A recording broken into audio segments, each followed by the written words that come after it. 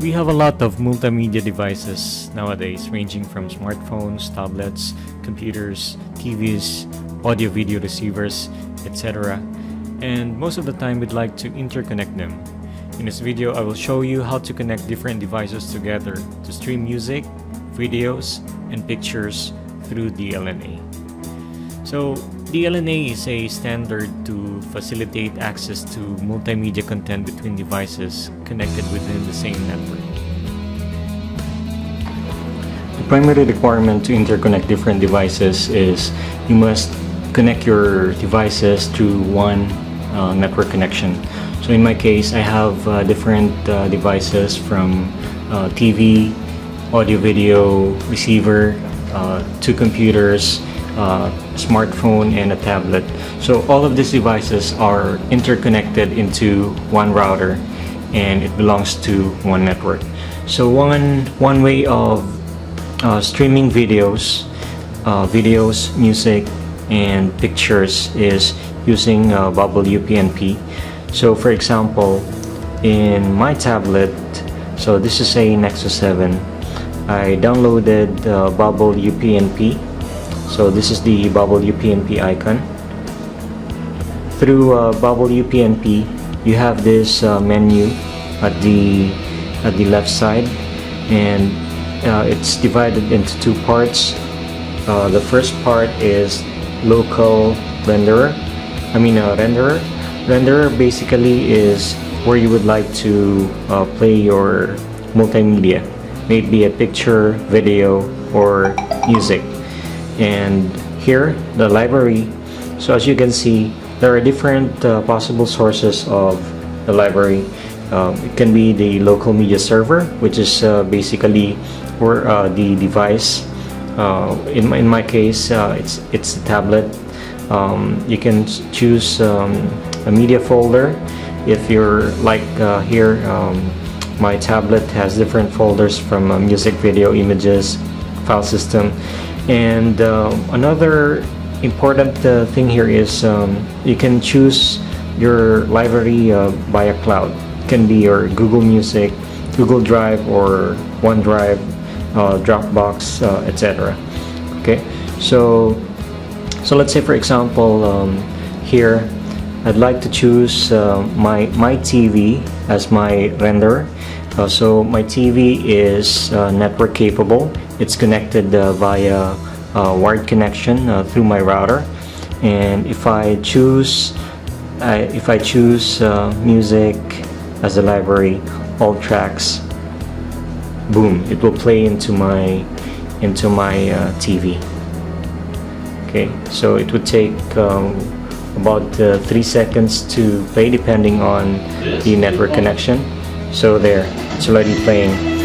Now if I stop it and then uh, choose the render and uh, as you can see um, this is uh, the uh, TXNR709 this is the Onkyo Onkyo um, audio video receiver. It's connected to my home theater speakers. And uh, if I play it there you go. It would play I just have to set my receiver to network and then um, set it uh, through uh, the DLNA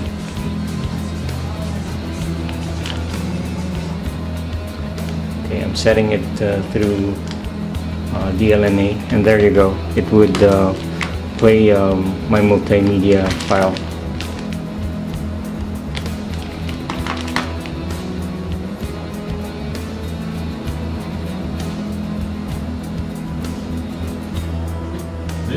so there you go. It's already playing. Now um, I have a computer. If I pause it um, and then uh, I choose um, the computer. Um, now I can also choose the uh, my PC um, it's uh, the Windows Media Player is uh, DLNA capable. I just have you just have to to enable in control panel the um, the media sharing and um, uh, there are some uh, options in in the Windows Media Player. You just have to enable the stream options. There's an option there for a stream tab and select allow remote control for, of my player and automatically allow devices to play my media. The, those are options in in a Windows Media Player and so let me go back to the Bubble UPnP and uh, if I choose uh, Windows Media Player as the renderer and I choose um, multimedia there you go. It's already playing in